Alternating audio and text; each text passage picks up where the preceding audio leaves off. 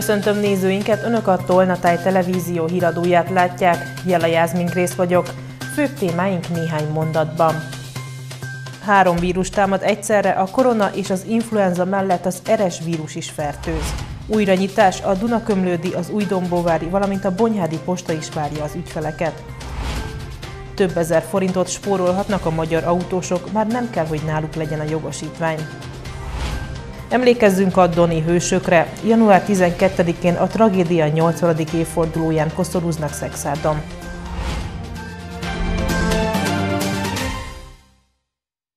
Egyszerre három hasonló tünetekkel rendelkező vírus van jelen ma Magyarországon. A korona és az influenza mellett a légúti óriás sejtes, vagyis az eres vírus is sok megbetegedést okozott az elmúlt időszakban. Dr. Szabó Gábor elmondta, kiemelten fontos most a védőoltások megléte és az óvatosság, mert az eres vírus nem válogat. Pandémia helyett tridémia, bár már nem olyan agresszív a koronavírus járvány, még mindig jelen van az életünkben, azonban nincs egyedül. Az influenza minden télen felüti fejét, de idén egy harmadik vírus is megjelent Magyarországon. Az influenza az, az, az is dühöng, tehát egy magas lázzal, végtag gyengeséggel, végtag fájdalommal járó tünetegyüttesről beszélünk, illetve itt van az RS vírus is, amely szinte egy légúti vírus, ami korábban is megvolt, és gyakorlatilag két-három éves korára az egész populáció átfertőződik, tehát óvodáskorra megkapja, de most ezt erősebbnek érezzük, emiatt viszont főleg kisdedeknél történt már kórházi ellátást igénylő eset is előfordulás. Az eres, vagyis a légúti óriássejtes vírusnak nagyon hasonlóak a tünetei az influenzáéhoz és a koronavíruséhoz, így nehéz megkülönböztetni, hogy mivel állunk szemben. Légúti tünetek vannak, magas láz, vagy éppen elhúzódó hőemelkedés, köhögés, ez általában száraz köhögés, és súlyos esetben lég, légzés támogatást igénylő beavatkozásra is szükség lehet ez kórházi körülmények között, mert, mert, mert légzési elégtelenséget is okozhat. Szabó Gábor hozzátette, nem csak azoknak érdemes beadatni az influenza elleni védőoltást, akik valamilyen szív- és érrendszeri vagy más tartós betegséggel rendelkeznek. Az egészséges fiatalok is megszenvedhetik, ha kettő vagy akár három vírus támadja meg őket egyszerre. Ez most nem válogat, az influenza az abszolút nem is volt válogatós, ugye itt megint csak a súlyos esetek előfordulásai kikre jellemző, de fiatalokat is nagyon meg tudja ütni, tehát több napig magas láz, végtagfájdalommal itt tud kikelni az ágyból, és akkor amilyen gyorsan jött, annál kicsit lassabban, de azért múlik. Ritkán, mikor felülfertőződés van, akkor esetleg szükség lett antibiotikumra. Kórházi ellátást igénylő eset jelenleg ebben a szezonban most nálam még nem történt. A szakember elmondta, odafigyeléssel talán elkerülhetőek a megbetegedések, javasolja a tömegek kerülését, illetve a maszk használatát. Ezen kívül nagyon fontosnak tartja, hogy sokat legyünk a friss levegőn, és mindenki fokozottan figyeljen oda a C és D-vitamin pótlására. Egy évvel ezelőtt vezették be a 25 év alattiak SZIA mentességét, amivel a magyar kormány plusz pénzt hagyott a fiatal munkavállalóknál. Idén ezt a tendenciát követve a 30 év alatti gyermeket nevelő anyák is megkapják ezt a kiváltságot, jelentette be Szent Királyi Alexandra a Facebookra feltöltött videójában. A kormány szóvivő hozzátette, ez nem csak igen erős megbecsülése a fiatal nőknek, hanem az évek során akár több millió forintos támogatást is jelenthet. Így egy bruttó 500 ezer forintos átlagfizetésnél 119 ezer forinttal több nettó fizetést kapnak a fiatalok. Ez tehát egy nagyon jelentős adócsökkentés annak érdekében is, hogy a pályakezdők is megbecsülve érezzék munkájukat. Havonta átlagosan 327 ezer dolgozó fiatal élvezi az SZIA mentesség előnyeit, amelynek mértéke éves szinten eléri a 140 milliárd forintot. Fontos tudni, hogy az adókedvezmény érvényesítését nem kell kérni, ezt a munkáltató automatikusan figyelembe veszi. Ha a munkáltató ezt mégis elmulasztaná, akkor az adóbevallásnál vissza lehet igényelni az összeget. Bonyhádváros önkormányzata pályázatot hirdet az önkormányzat tulajdonában álló bérlakás szociális alapon történő bérbeadására. Erre a hivatal hatósági osztályán a pályázati adatlapot kitöltve lehet jelentkezni január 12-én 16 óráig. A tenderhez csatolni kell a pályázóval együtt költöző személyek havi jövedelméről szóló igazolást. A bérlő személyét Bonyhádváros önkormányzata képviselőtestületének Humán Bizottsága jelöli ki, azok közül, akik megfelelnek a feltételeknek. Tolna vármegyében is több település önkormányzata átvállalta a postahivatalok 50%-os üzemeltetési költségét, hogy azok újra kinyithassanak. Így január 2-ától ismét fogad ügyfeleket a Duna-Kömlődi és az Új-Dombovári, valamint Bonyhádon a fái lakótelepen működő posta. Többek között Bonyhádon a fái lakótelepen lévő posta is újra nyitott a napokban. November 12-től háromból kettőnél szünetelt a szolgáltatás a településen a Magyar Posta határozata alapján. A város önkormányzata 35 millió forintot meghaladó támogatásról döntött annak érdekében, hogy január 2-án ismét kinyithasson a szolgáltató. A körzet lakói egytől egyik pozitívan fogadták a döntést. Én nagyon örülök neki, mert ugye innen a, a másik posta sokkal távolabb van, tehát ö, szerintem mindenki örül ennek a dolognak. Van, aki azt mondja, hogy az idősebb korosztály sokkal nehezebben tudott eljutni a város távolabbi részén található postára. És ez közelebb van, hát lent kint az utcán állni sorvát. Eddig szerencsém volt, egyszer kellett menni, és simán bejutottam, de sűrűn az nem jó. Nagyon örülök neki és nem kell lemenni olyan messzire, és a másik, én, én nagyon szeretem ezt a kiszolgálást, mert, mert gyorsan, nem kell sokat várni. Én nagyon örülök neki. Dombóváron is a decemberi testületi ülésen határoztak a képviselők az új Dombóvári posta kinyitásának támogatásáról. Végül az önkormányzat átvállalta a működési költségek felét, így a lakosok januártól újra igénybe tudják venni a szolgáltatást az érintett városrészben. A helyiek örültek a döntésnek, ugyanis sokan már a környező településekre jártak ügyet intézni. Egyszerű volt, úgyis járok arra, akkor egyszer, és ott nem volt senki se Nem kellett várni, mint magamat még nem is féltettem, hogy mind a nyugdíjasokat, öregeket, akiknek bejárkálni a városba, vagy valakit beküldeni. Szóval szerintem ez nagyon jó volt. Nagy postán ott téboly sorok álltak, úgyhogy vidékre jártunk befizetni. Úgy volt egyszerűbb. A Magyar Posta még október végén jelentette be, hogy ideiglenesen szünetelteti 210 településen 366 postahivatal működését a háború és a szankciók okozta válság az energiaárak radikális emelkedése miatt. Azonban a társaság az önkormányzatokkal kötött megállapodások alapján 32 településen 45 posta szüneteltetését oldotta fel, tehát az érintett szolgáltatóhelyek január 2-án újra kinyithattak.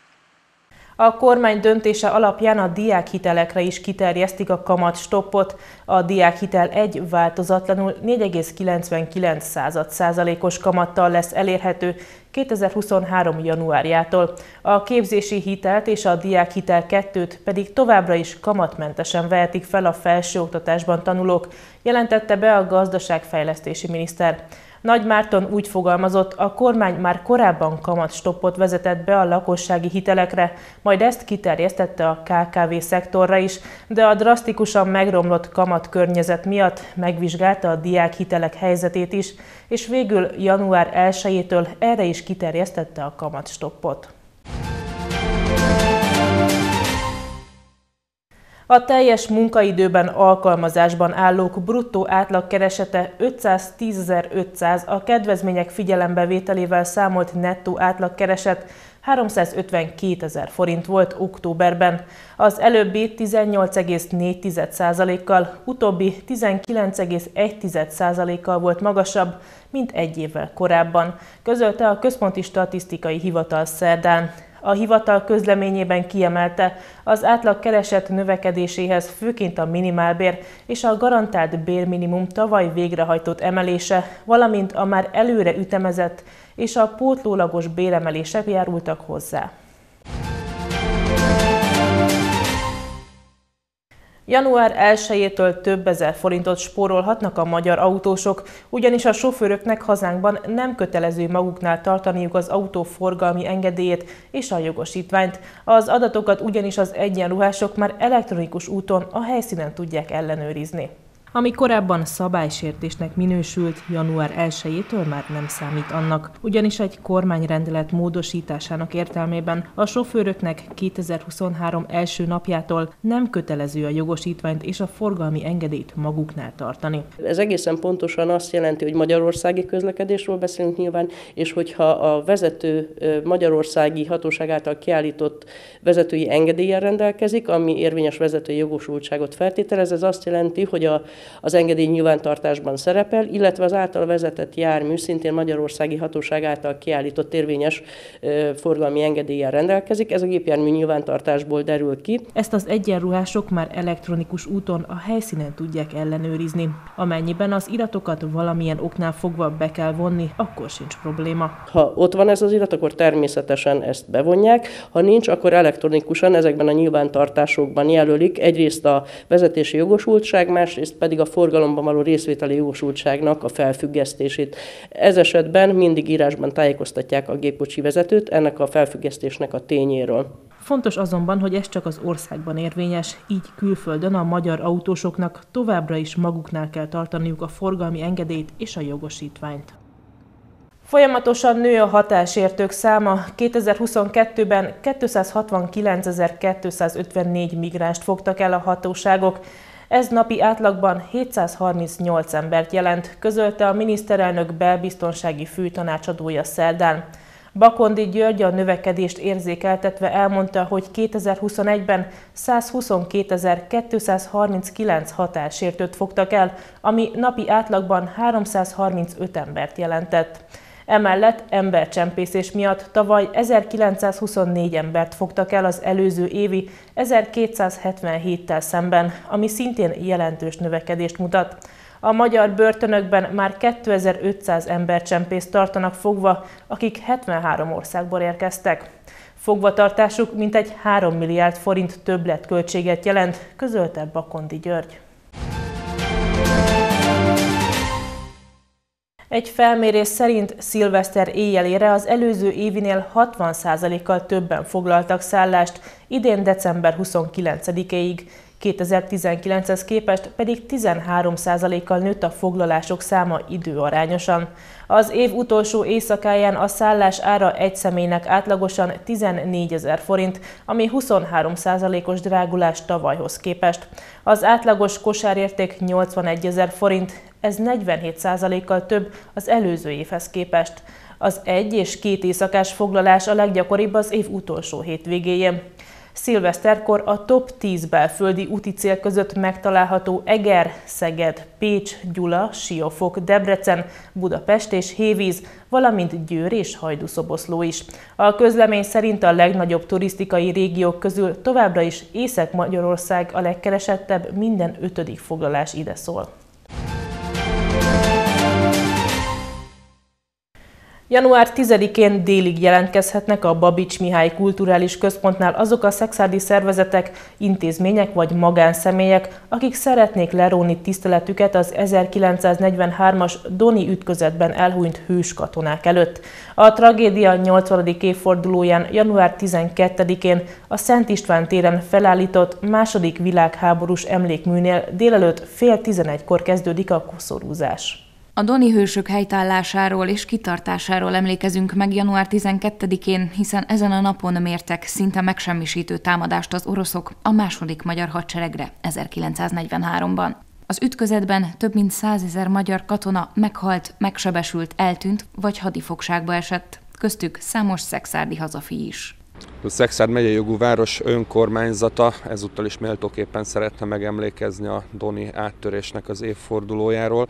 Január 12-én 10 óra 30 perckor kezdődik a koszorúzással egybekötött megemlékezés. A szervező ezúttal is a Babics Mihály Kulturális Központ. A Babics Központ már ki is adta a koszorúzási felhívást. A Babics Mihály Kulturális Központban várják azoknak a szervezeteknek, intézményeknek vagy magánszemélyeknek a jelentkezését, akik szeretnék leróni tiszteletüket a Doni katasztrófában elesett hősök előtt. A koszorúzási szándékot január 10-én 12 óráig jelezhetik a megemlékezők személyesen vagy e-mailben a gödrei.zoltán kukac e-mail címen. Külön érdekessége, hogy a 80. évfordulója lesz az 1943-ban történt Doni katasztrófának. Számos szexárdi áldozatot követelt sajnos, úgyhogy biztos vagyok benne, hogy rengetegen kívánnak majd megemlékezni. A szervezők arra kérik a megemlékezőket, hogy a koszorúkat közvetlenül az ünnepség előtt annak helyszínére, a Szent István téren álló második világháborús emlékműhöz szállítsák. A regionális híreinkkel folytatjuk a híradót. Két lábra állhat a Magyar Kulturális Közigazgatás, kormánybiztosként folytatja munkáját Hoppál Péter.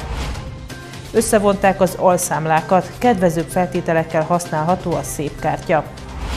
Akár 15 év szabadságvesztés is kiszabható, gyermekpornográfiával vádolnak egy pécsi férfit.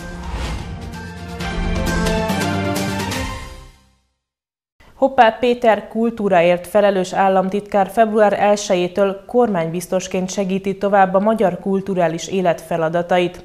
Fő felügyeleti területei közé tartoznak majd olyan hazai és nemzetközi programsorozatok, mint a Petőfi 200 emlékév, a 200 éve írt himnuszról szóló megemlékezés, vagy a 100 éves modern török államiság előtt tisztelgő magyar-török évad. Kormánybiztosként folytatja munkáját a kultúráért felelős államtitkár. Hoppá Péter úgy véli, ez egy előrelépés számára. Mint mondja, a kormány így két lábra állítja a kulturális közigazgatást. Vannak ugyanis olyan feladatok, melyek túlfeszítik egyetlen államtitkárság kereteit, ezért tárcák közötti vagy tárcák feletti koordinációra van szükség, tette hozzá. A karácsonyi szünet előtt miniszterelnök úr kormányinfon jelentette be azt, hogy hogy egy olyan kormánybiztosi feladatkört kell majd betöltenem, vélhetőleg február 1-ével, amelynek nemzetközi programok megvalósítására terjed ki a koordinációs feladatköre, illetve amely országos nagy programokat, valamint a kultúrás alapellátás kiterjesztését hivatottak majd ellátni. Hoppá Péter kormánybiztosként többek között a magyar-török kulturális évad előkészületeiben vállal nagy szerepet. Idén decemberben ünnepeljük ugyanis a két nemzet közötti diplomáciai kapcsolatok felvételének századik évfordulóját. De emellett a 200 éve született Petőfi Sándor költőre emlékező Petőfi 200, vagy a Kölcsei Ferenc által 200 éve írt himnuszról szóló megemlékezés programjaiért is felel. Innen Baranyából nézve annyival lesz könnyebb a helyzetem, hogy eddig is minden héten voltak választókerületi munkanapjaim, de állandó ingázásban voltam Budapest és Pécs között. Most az hét elejére szeretnénk majd koncentrálni a budapesti teendőket, a parlamenti és a kormánybiztossági teendőket, és utána a hét közepétől már szeretnénk több vidéki jelenlétet, több választókerületi jelenlétet is tenni, illetve hát nyilván a nemzetközi feladatokban is, a határon átnyúló programok koordinálásában is részt kell majd vennem. További pozitívum, hogy a sok szakmai főosztályjal rengeteg aláírási kontrollal működő, ezért alapos, de alapvetően lassú minisztériumi eljárásrend mellé egy gyorsabb reagálású, tárcák között mozgó kormányzati egység felállítására kaptunk lehetőséget, tette hozzá Hoppá Péter. Összevonták a szépkártyák korábbi zsebeit, így összeadódnak az azokra feltöltött összegek. A módosítás egyaránt könnyítést jelent a felhasználók és a szolgáltatók számára is.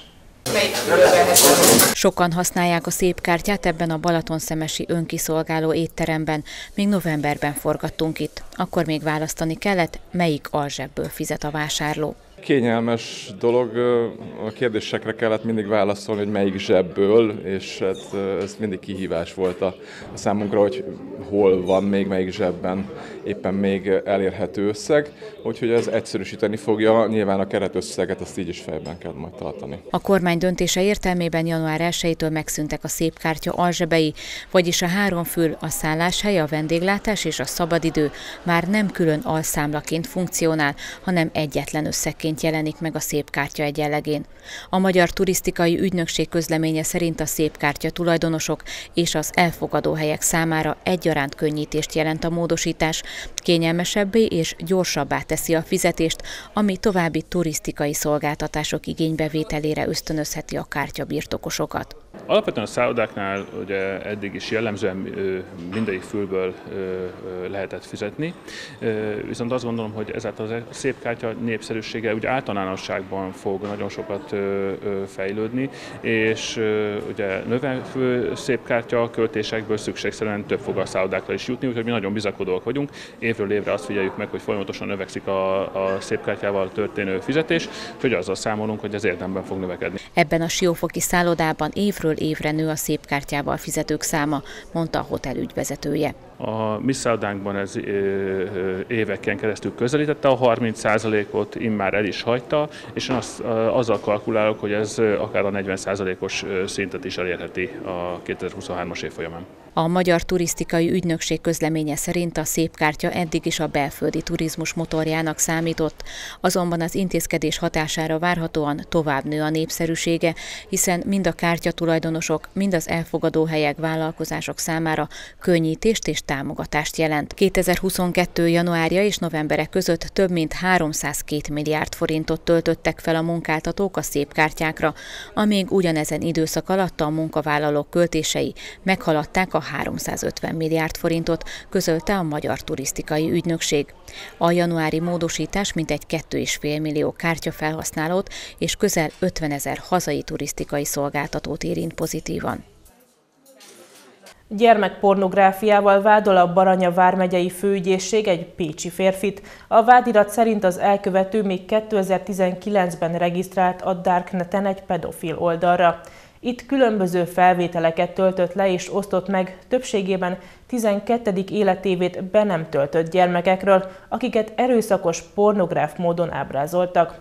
Bűncselekményének büntetési tétele 5-től 15 évig terjedő szabadságvesztés. A Baranya vármegyei főügyészség a 12. életévét be nem töltött személy sérelmére nagy nyilvánosság számára hozzáférhető vététellel elkövetett gyermekpornográfia büntette miatt emelt vádat egy pécsi férfival szemben, aki közel 2000 gyermekpornográf fényképet tartott számítógépén. A vádirati tényállás szerint a férfi 2019-ben Daddy for Love felhasználó néven regisztrálta Darkneten egy pedofil oldalra. Ezt követően a chat fórumon számtalan esetben töltött le olyan képeket, képeket, amelyeket, amelyek gyermekeket pornográf módon ábrázolt, illetőleg több esetben megosztott olyan linket is, ahol hasonló tartalmú felvételek voltak megtalálhatóak. 2021 évben a férfi lakásán házkutatásra került sor, ennek során a számítógépét, merevelemezeit lefoglalták, és ezen közel 2000 gyermekeket ábrázoló pornográf felvétel volt található. A felvételek többsége 12. életévét be nem töltött gyermekeket ábrázoltak pornográf módon.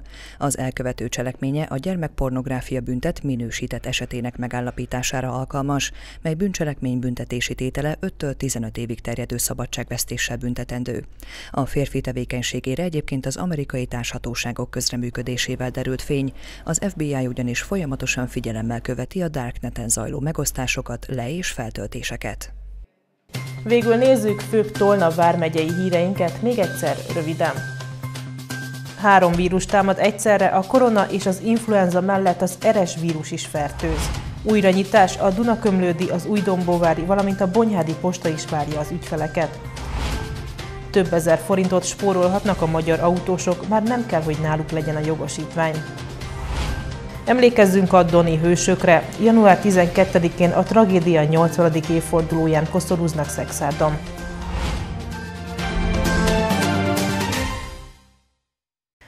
Csütörtökön borongós, szeles idővel indul a nap, napközben hideg front érkezik, de az állandó felhőtakaró ellenére nem várható csapadék. Lehűl a levegő, de még így is magasabb lesz a hőmérséklet az ilyenkor szokásosnál. Friss hírekkel legközelebb csütörtökön este jelentkezünk, addig is kövessék műsorainkat, illetve keressenek minket a Facebookon, ahol naponta friss hírekkel, érdekességekkel várjuk Önöket. Ha látnak valamit, ami Önök szerint figyelemre méltó, akkor azt osszák meg velünk, hogy másoknak is megmutathassuk. Mára köszönöm figyelmüket, viszontlátásra!